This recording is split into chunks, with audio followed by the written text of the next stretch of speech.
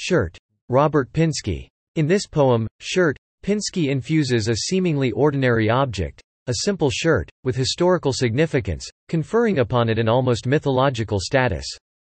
The poet focuses on the different locations and processes during garment manufacturing. Using a particular example of the infamous Triangle Fire in 1911, Pinsky presents the struggles and hardships of the factory workers.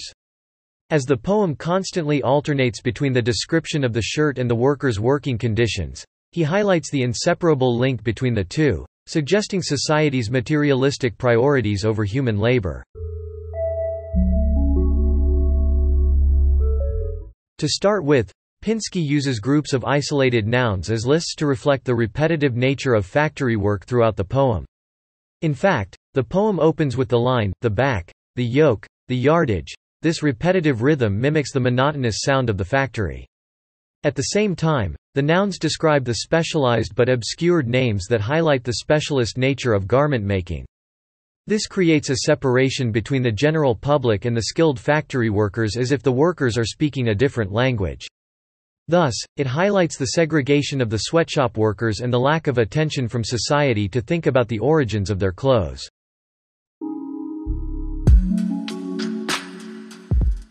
By referring to the sweatshop workers as Koreans or Malaysians, the poet generalizes them with the conjunction, or. It also opposes the East, Asian countries to the West developed world. This shows the ignorance of the first world countries and puts their priorities and labor on the third world countries. The fact that the lapped seams and invisible stitches are put in place by Korean or Malaysian sweatshop workers suggests these are the things that no one ever notices, while the poet is using this poem to draw attention to them and to the larger problems of the conditions these workers are made to work in. In the following stanza, Pinsky displays the workers with human-like behavior as opposed to the machine-like working they have to face every day. With the act of, gossiping over tea and noodles, and, talking money or politics, the poet imbues the workers with personality, cares, and desires. He presents them as real people as opposed to faceless, automaton statistics. Tellingly, their interests are framed as taking part, while one fitted this armpiece, despite them nominally being on their break, suggesting that the work is incessant and they don't really have time to chat or relax at all in their day. The fact they are discussing money and politics is not expanded upon, but would suggest that they have concerns in both fields as they are not being paid enough and not being protected by their governments from their harsh working conditions. Moreover, Pinsky uses the reference to the 1911 Triangle factory fire to present the tragic instances for the workers. When describing the number of people who died, the speaker states, 146 died in the flames. The lack of nouns from the uses of ellipsis emphasizes the fact that the workers are just considered to be a number. It suggests that the workers had no individuality in the eye of the factory or the authority. Thus, it makes the scene particularly sympathetic as the workers were put in a place of vulnerability and were taken advantage of. Even till their death, they remained anonymous.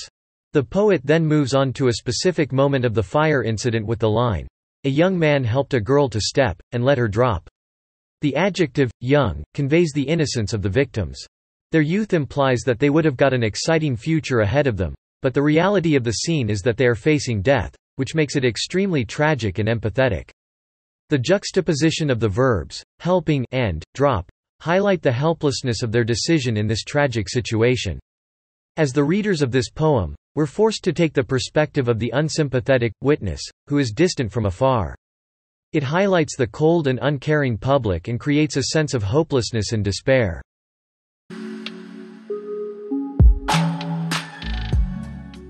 The language of garment making is continued with the line, prints, plaids, checks, houndstooth, tattersall, madras. These different nouns all describe the same item-specific varieties of checked pattern, although with nuances within. The poet purposefully chooses to highlight this as to show the level of detail and formality in the language of garment making, yet in everyday speech, it is never mentioned. Similarly, like the ignorance of human labor, at least in the Western world. In addition, in the fourth-to-last stanza, Pinsky returns to utilize the list-like structure with the line, the planter, the picker, the sorter. The poet displays a sense of ambiguity with the facts as he could be referring to the machine or the particular job of a worker. This reflects the dehumanization of the factory workers as the names describe both the equipment and the employee. At the same time, it highlights the replacement of the worker by machine in the modern age. The following line, sweating at her machine in a litter of cotton, confirms that the sorter refers to a worker, which suggests how the factory workers have to work like machines in order to make her a living. The line, sweating at her machine in a litter of cotton, highlights the poor working condition as the word, litter, reveals how unsanitary the sweatshop is. Pinsky then uses a simile to compare the worker as slaves with the line, as slaves in calico head rags sweat red in fields. The word, calico, describes an African painted cotton pater. The mention of slaves links to the historical reference which is a traumatic experience and connotes the inhuman brutality of the slave trade. Pinsky brings the knowledge to the forefront of the reader's mind and connects modern factory with slavery influence which implies that nothing has changed. The poet suggests the lack of humanity in the garment-making process. The shirt that the speaker is mentioning in this poem may or may not come from slavery, but the chance that it could challenges the reader how they view the clothing manufacturing process. Throughout the poem, Pinsky uses continuous verbs such as talking and sweating to describe the workers manufacturing a shirt, and uses past tense verbs for the shirt that the speaker is buying, such as inspected, culled. This suggests that while the particular shirt that the speaker has is finished its manufacturing, the process still remains, and the sweatshop or factory incidents can be happening again in any part of the world. Through this, the poet urges the reader to take actions and consider the consequences in the fashion industry. There are many cases of enjambment throughout the poem, and it always connects the last line of each stanza to the following stanza. This creates a consistent poetic voice while creating an irregular structure.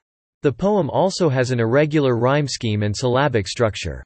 The irregularity represents the workers' need and yearning for freedom but imprisoned by the repetitive work they have to face every day, which is symbolized by the repeated three-line stanza.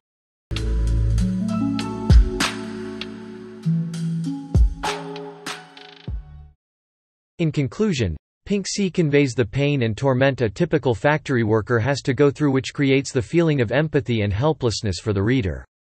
As he contemplates his recent purchase, which, in all probability, had been made in an overseas sweatshop, he begins to reflect not only on the relationship between the consumer and manufacturer but also on how one can choose to ignore inhumane working conditions.